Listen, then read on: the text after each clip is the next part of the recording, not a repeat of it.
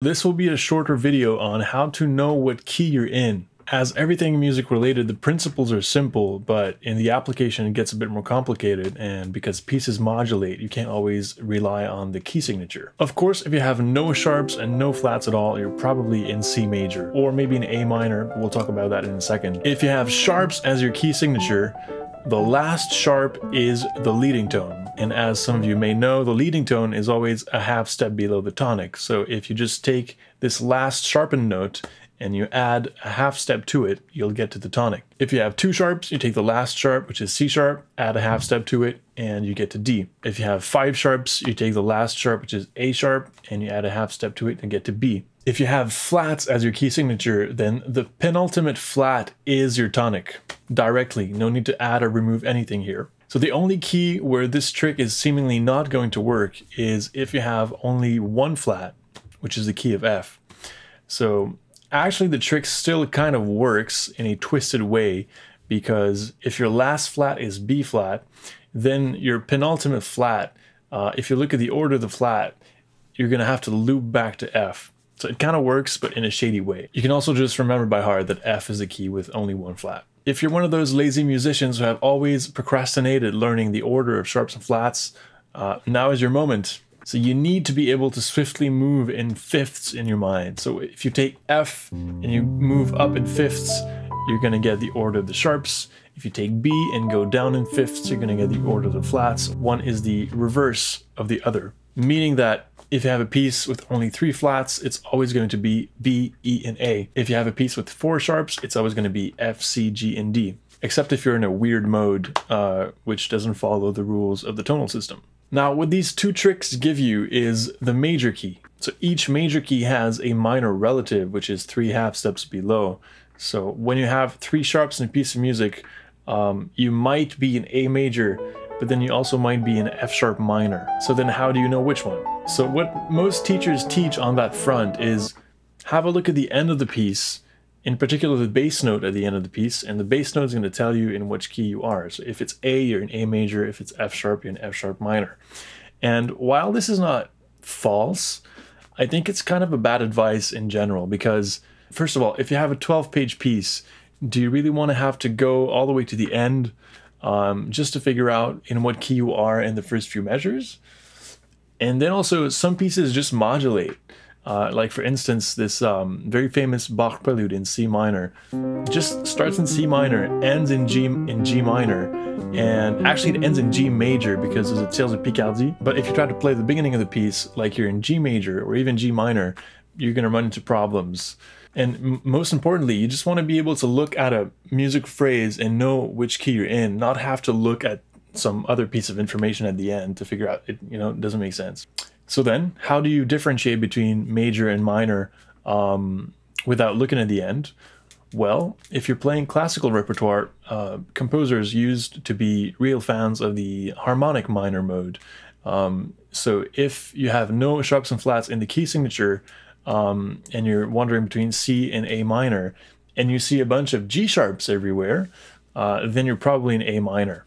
If you see that all Gs are natural, then you're most probably in C major. But I have to say, uh, in today's music, in today's neoclassical music, most of the time people use the natural minor mode, which has exactly the same notes as the major scale. This means that the major and minor poles are very fluid, and sometimes we're just in both at the same time, and there's no point saying, okay, we're in major or minor, we're just like kind of in this, you know, tonality. But again, this idea of looking for the G sharp uh, is still a superficial way of finding the tonality. The non-superficial way of distinguishing between major and minor is to look at which key the composer is establishing at the beginning of the composition. What I mean by that is where is the first resting point in the music? This resting point or cadence often takes the form of a 5-1 chord progression. So if your key is four flats, so you're wandering between A flat major and F minor, just look for dominant chords. And if you see an E flat 7 chord going to an A flat chord, then you're most probably in A flat.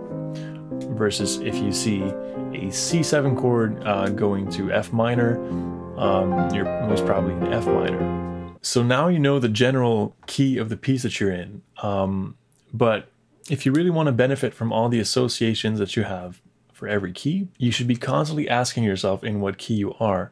Um, because pieces constantly modulate.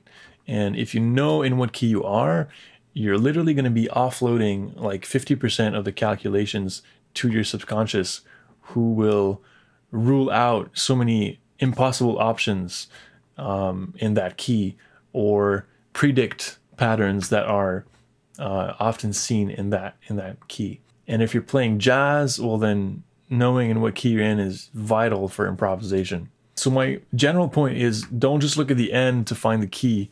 Try to figure out from uh, dominant chords or cadences in what key you're in all the time because anyways you should be looking for cadences all the time to find out about modulations.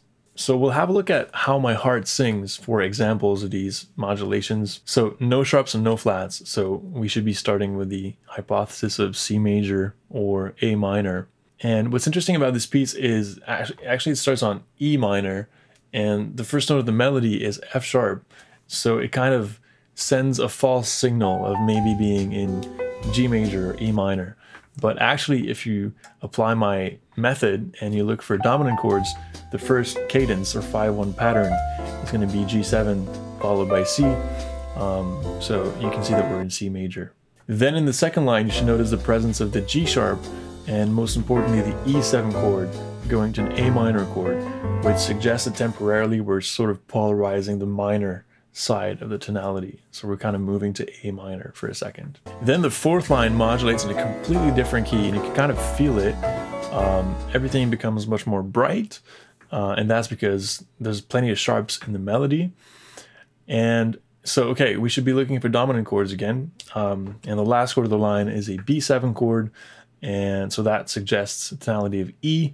And because of all those sharps and the E major 7, chord that's the beginning of the line, it's definitely not E minor, it's definitely E major. Then in the fifth line, and this is the reason why I chose this example, uh, we have an instance where you have to look a little bit deeper to find the key because we hear there's a modulation, um, but there's no dominant chords. Um, so actually here, there is still a cadence. The cadence is a 4-1 pattern instead of being a 5-1 pattern. And uh, when you see this, you can realize that you're actually in A major. The same thing is true of Satie um, in his first Gymnopédie. Uh, you just have 4-1-4-1 in the beginning. That is uh, totally sufficient to install the key of D. So if there's no dominant chord, try to find a 4-1 pattern. It's also a cadence. It's a plagal cadence instead of being a perfect cadence when we hear the motive being repeated uh, one tone lower on the next line, we can deduce that we're in G major. Um, still, there's no perfect cadence, there's no 5-1, but there's a 4-1 motion or plagal cadence. At the last minute, there's a B7 flat 9 chord which hints at E minor, and indeed it loops back to E minor. But like I said, it's kind of false signal because right after that we're modulating back to C.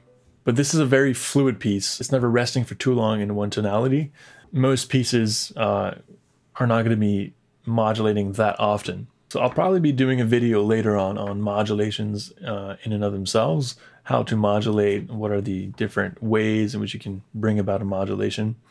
Uh, but for now, I hope you enjoyed this uh, little review on key signatures. If you enjoy my content and want to support it, please consider leaving a super thanks in the comment or uh, checking my Patreon page. That would be really appreciated.